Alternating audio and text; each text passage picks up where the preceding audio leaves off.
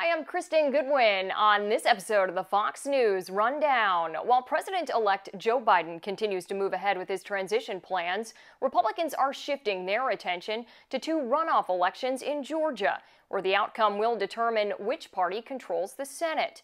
GOP Senator from Florida Rick Scott discusses his party's chances of sweeping the Peach State, what he expects from a Biden administration, and the hopeful news about COVID 19 vaccines after recently testing positive for the virus himself. Amid a surge of coronavirus infections across the nation, health officials are pleading with Americans to forego travel and large gatherings this holiday season. Fox News Headlines 24 7 reporter Carley Shimkus shares insight on how folks are making the best of Thanksgiving during these challenging times. Plus, commentary from Fox News contributor Pastor Robert Jeffress.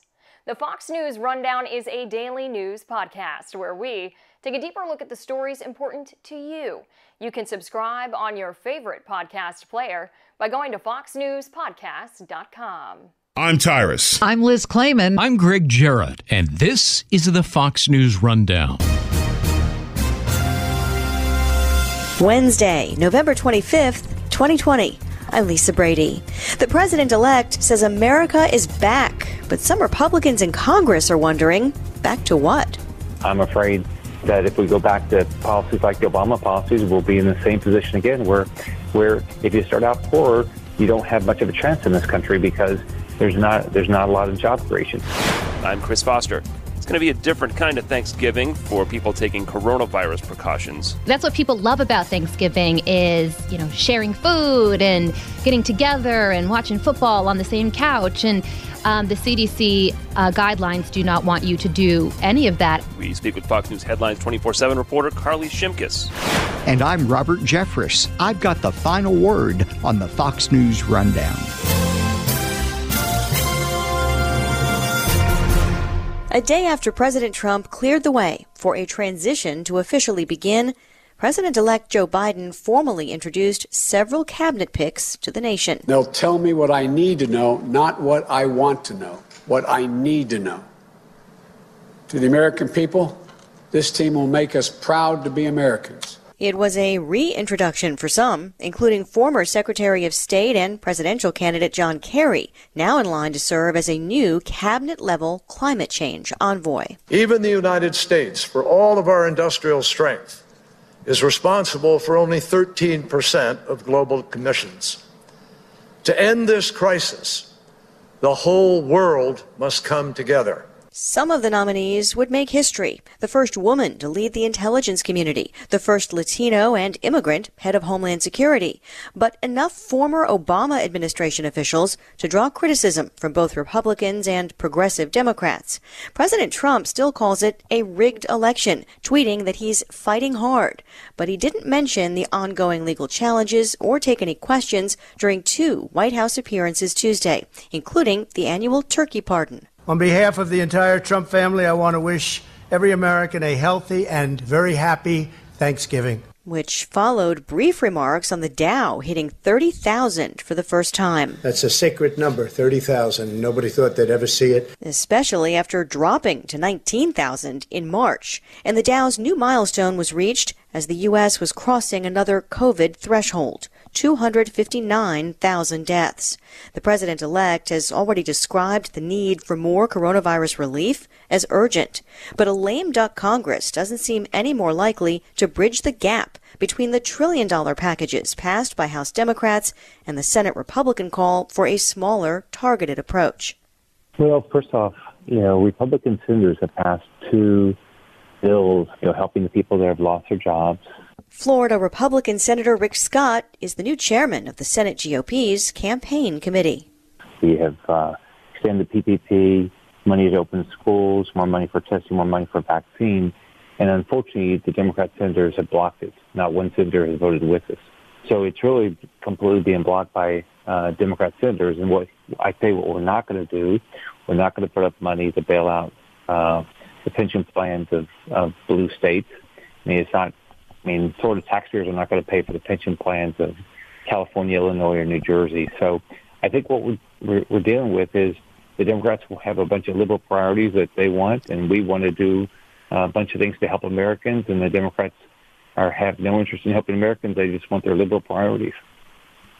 Right, and I mean that debate will continue because from their perspective, they just keep saying, right. well, especially Speaker Pelosi keeps saying Republicans basically aren't willing to spend enough to crush the virus. Well, to crush the virus is is testing. Um, you know, we have um, put up billions of dollars uh, for tests. We bought up the Abbott tests. They're being sent around the com- around the around the country through the governor's offices. The uh, the money we've sent to the states for testing has not been much of that has not been used. So what's fascinating is the Democrats just don't want to. They just want. They just have a, a wish list, and a lot of it is they just want to bail out states. And and when did a Florida taxpayer become responsible for the Illinois state uh, pension plan? I mean, it's just, actually it's almost as simple as that. I wanted to ask how you're feeling because you are one of several U.S. senators who tested positive for COVID just last week. Are you having any symptoms? I'm fine. It, I, my, I have a very mild uh, case, or like a, a little bit of allergies or a slight cold. So I'm doing great. Um, I look forward to getting back up uh, to DC. Hopefully, we we will uh, uh, be able to pass uh, our you know our budget, uh, which has been frustrating to me that we haven't passed a budget, and hopefully we can do it in a fiscally responsible manner when I get back. As a Republican, are you relieved that the president has allowed essentially the transition process to begin? Well, look, I, we still need to make sure all legal votes are cast. We know still need to. Uh, the president still has the right to go through uh, the, the legal, you know, questions he has. We still need to look for the fraud. I mean, I think what's frustrating is the American public doesn't feel comfortable that this election was fair. Uh, I've got a bill uh, called the Voter Act, which will actually do mail-in ballot the way we do it in Florida, which has worked. But you've got to you've got to have signatures match. You've got to you can't have same day registration. You've got to have voter ID. You've got to do the things to make American public feel safe about these elections because it's not just going to be this election; it'll be the next election. When when are we going to start feeling uh, secure about our election system if we don't have the conversation and, and pass the bills that are going to make sure we have national standards and locally run elections? In terms of the president's legal challenges over this election, though, I mean, at a certain point, could it hurt the Republican Party for those challenges, you know, to continue, or just does that just become less of a factor now that the transition's getting underway? Well, I think it's, it's all tied to when the states certify, and so they're going through that process. The, the legal challenges will be heard. I went through this two years ago. I won handily um, by 54,000 votes election night, and Chuck Schumer sent a lawyer down the next day, and, and he, he's not doing he's not saying what Donald Trump said. Donald Trump says I want all the legal votes counted. What Chuck Schumer's lawyer says, I want to win to the court systems. I don't care what the voters decided. So what what Donald Trump is doing is exercising his legal right to make sure all votes, legal votes, are counted and make sure there's no fraud. And so that's what we ought to be doing. Uh, but these states are going to be certifying, and, and we'll know who uh, the the president's going to be, uh, I think, pretty quickly.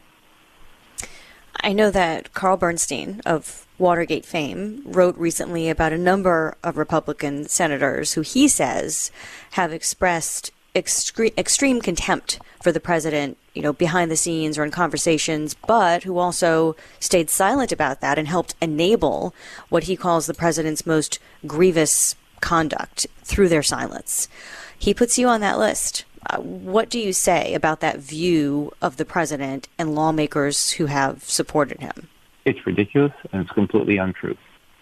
Is there any concern that that reaches voters that that affects you know the long-term goal of winning back the White House if the president has lost it or even these Senate races in Georgia that are coming up in January the runoffs well, we're going to win the Georgia races, and we're going to win because we have very good candidates, and we're on the right side of the issue. And, and I think Georgia voters realize that they don't want Chuck Schumer uh, doing what he said. He was going to take Georgia and then change the country, and he we don't want uh, Chuck Schumer's plan for the country. He wants to pack the Supreme Court. He wants to infringe on our First Amendment rights, our Second Amendment rights. He wants to uh, eliminate uh, private health care coverage. He wants to ruin Medicare uh, for the Medicare recipients. He wants the Green New Deal, which will cost almost $100 trillion and kill our economy. And as we know, the Democrats are not into supporting law enforcement. So, So I, I'm very comfortable we're going to win in Georgia because what we believe in is what America believes in. We we believe in the chance to live the dream of this country. I'm a kid that grew up in public housing. I want the chance to live the dream. I want every kid in this country to have the same chance that I had uh, to be able to build a life and go down the path that I wanted to go down.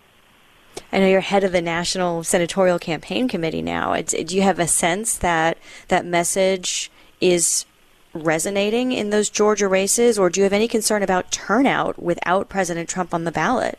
Oh, there people excited. Um, I was down there. Um, I didn't. Uh, I came in contact with somebody after I came back to Florida, so I uh, I came down. Uh, went down to Georgia to uh, to campaign, and uh, we had a lot of enthusiasm, a lot of interest.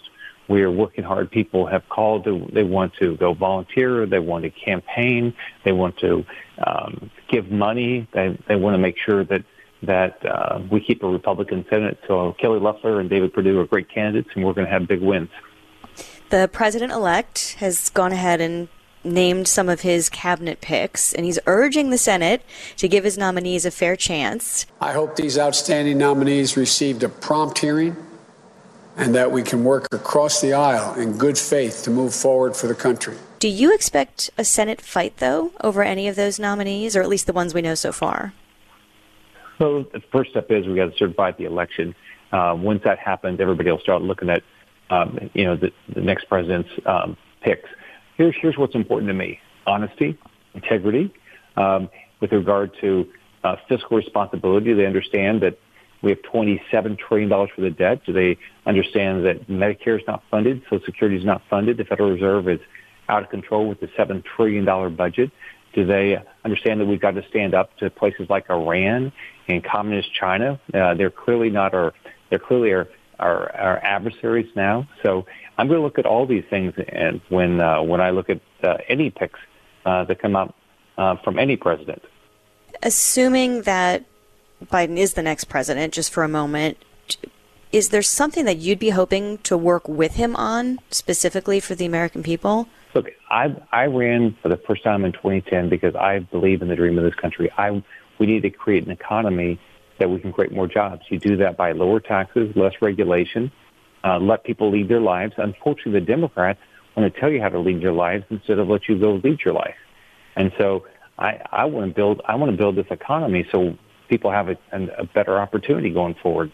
Um, as, as we know, under the Obama years, we didn't have great growth, uh, and I'm I'm afraid that if we go back to policies like the Obama policies, we'll be in the same position again, where where if you start out poor, you don't have much of a chance in this country because there's not there's not a lot of job creation. Yeah, and do you think that he'd be able to sort of keep his moderate stance that he took um, toward the latter part of the campaign? Would he be able to keep that as president and try to work with both sides of the aisle like he said he would do? I want to work with anybody that's going to help my state. Um, so I've, I've, worked well with uh, President Trump. Uh, he understands the issues of Florida. Um, I know that Joe Biden doesn't know much about Florida. And the biggest thing we need is we need a good economy. And Joe Biden has, has no idea how to create an economy. What he, if you look at his is uh, his background is he's he's big on taxes and he's big on regulation. Both of those things are going to be bad for jobs. If he doesn't win a second term right now, would you like to see President Trump run again in 2024? Absolutely. I think I think uh, President Trump has worked his butt off. I mean, if you look at if you look at the economy before COVID, if you look at if you look at what he did in the Middle East, if you look at his ability to hold uh, uh, adversaries accountable. If you look at ability to get uh, NATO to put more money up uh, for uh, for the NATO alliance, I mean, there's a lot of great things uh, the president accomplished. The deregulation, and absolutely. One last thing um, to maybe maybe end on a hopeful note.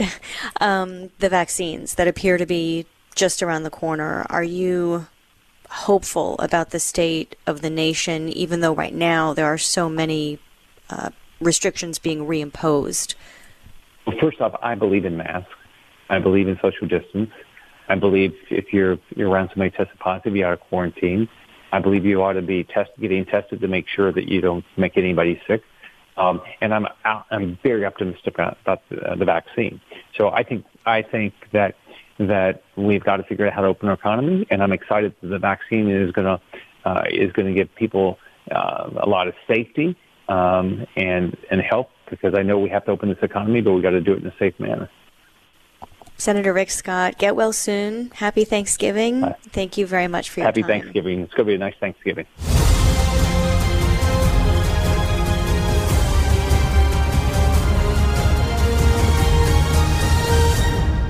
This is Robert Jeffress with your Fox News commentary. Coming up.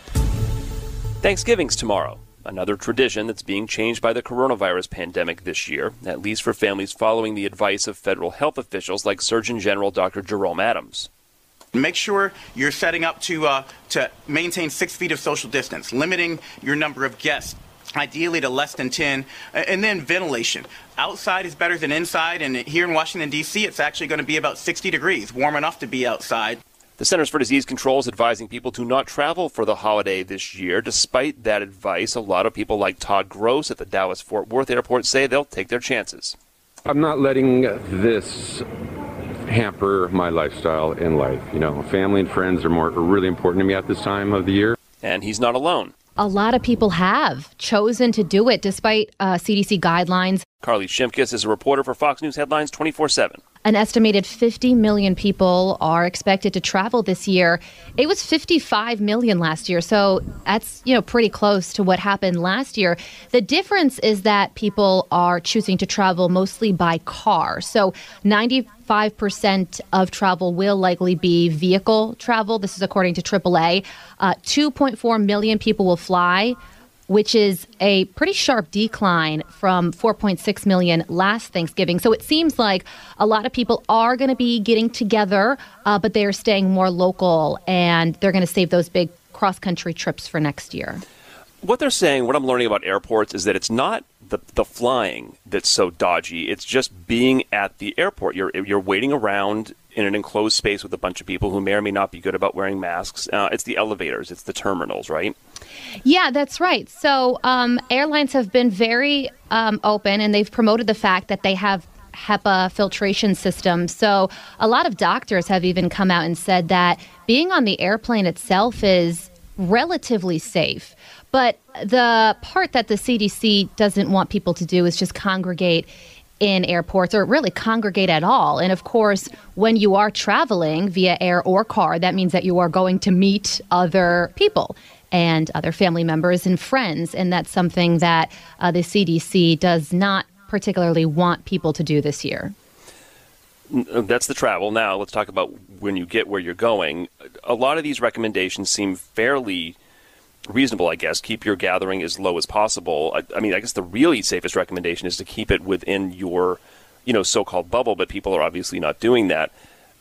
The idea of getting together at grandma's house and staying six feet apart from everybody. I don't know how you grew up, but that's not that's not a possibility. It was knee to knee at, a, at a table. Yeah, and that's that. You know, that's what Thanksgiving. That's what people love about Thanksgiving is you know sharing food and getting together and watching football on the same couch. And um, the CDC uh, guidelines do not want you to do any of that. As a matter of fact, they recommend that people bring their own food their own drinks, their own plates, utensils. So they say no sharing this Thanksgiving. And they also suggest that masks should be worn when people aren't eating or drinking.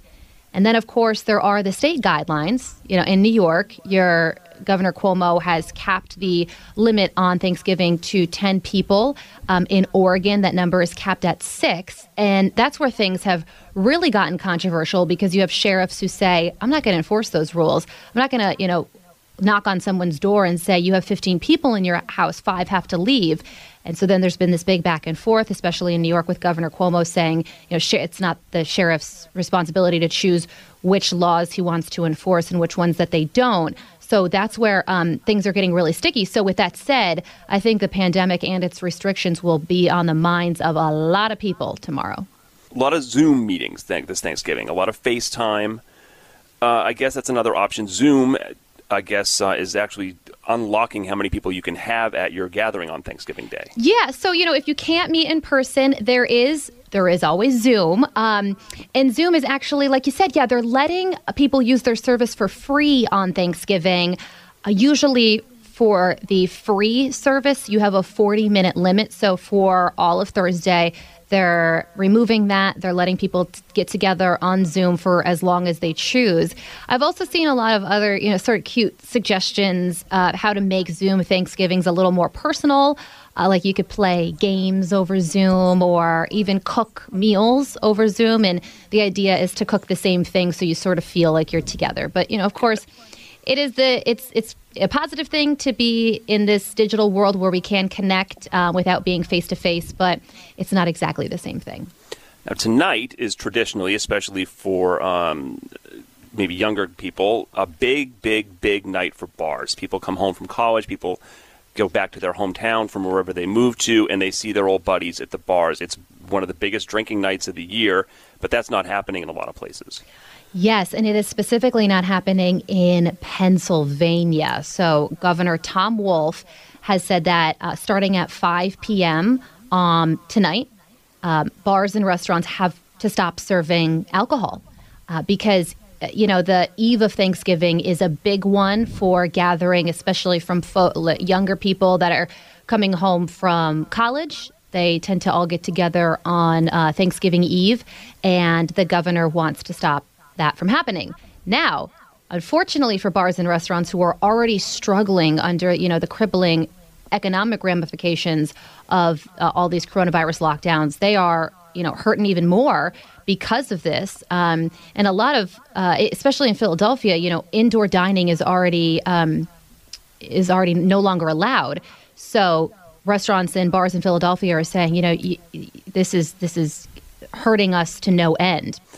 Uh, one of the perks of working at Fox is the Thanksgiving Day parade. If you're working that day, or even if you're not, some people come in on their day off, and you can watch the parade from inside of our building, or from or from some of the windows. That's going to be a little different this year. Yeah, that's right, and you are correct. That is a big perk of working in the Fox News building. So uh, the good news is that the parade is sort of happening. Uh, the not so great news is that it is going to look very different this year. Um, they have scrapped the 2.5 mile parade route. Uh, they've also scaled back on performances and the number of participants. It's really going to be a very um, TV focused event, meaning it's going to be pre produced, filmed, recorded uh, throughout this week. The Rockettes will still be performing and some of the most popular balloons, like you know the Snoopy balloon, Elf on the Shelf, um, the Pillsbury Doughboy, boy, they, will be in the TV event. But you know, I commend them for trying to put this on and giving people something exciting to watch uh, tomorrow morning. Uh, just for a minute though, and then uh, you have to turn back to Fox News, of course. if the Rockettes are part of anybody's tradition, or if anybody ever thought about maybe coming to New York to watch the show, you obviously can't do it this year. Uh, but the Rockettes, I've noticed, are actually doing uh, free performances and free dance classes online. So you can take you can do that. I did not know Christmas. that. Wow. Can I just say, um, last Christmas I went over to Radio City Music Hall for um, a Fox and Friends piece, and um, the Rockettes tried to teach me how to kick, um, and I failed miserably. So, kicking and uh, stretching in any sort of capacity, not my forte. You're also too tall. I yeah, think. that's really the thing. That's really the thing. You have to be between whatever height and whatever height to be a rockette, and you're um. Um, you're a couple yeah, of, I'm about, I'm about a half foot above it.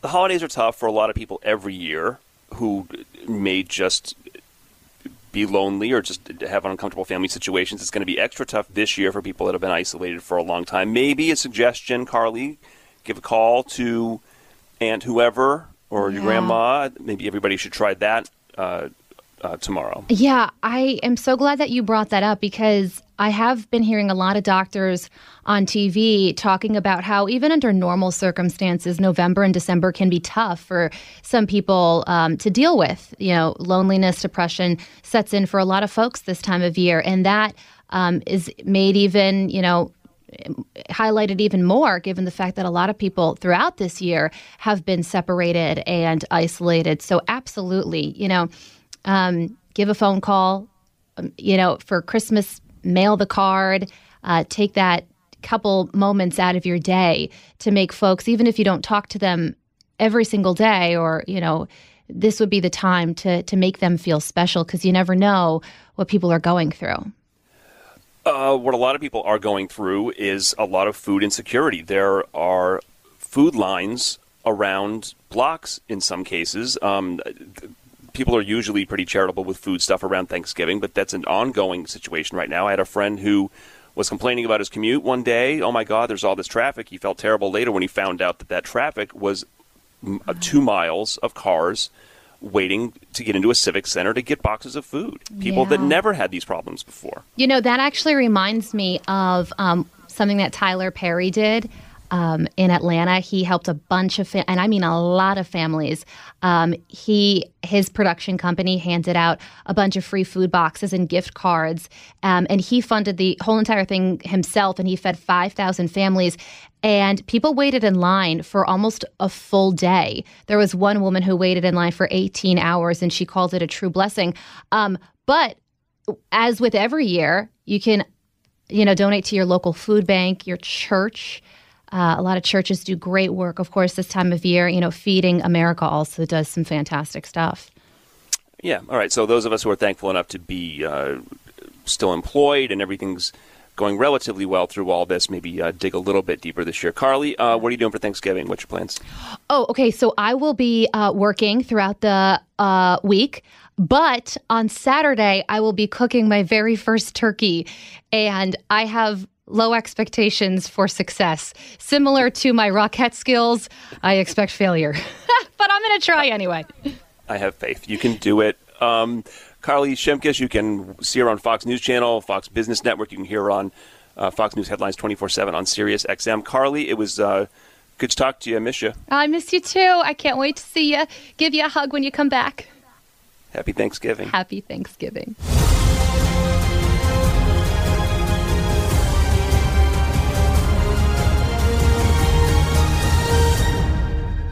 From the Fox News Podcasts Network. Subscribe and listen to the Trey Gowdy Podcast. Former federal prosecutor and four term U.S. Congressman from South Carolina brings you a one of a kind podcast. Subscribe and listen now by going to FoxNewsPodcasts.com.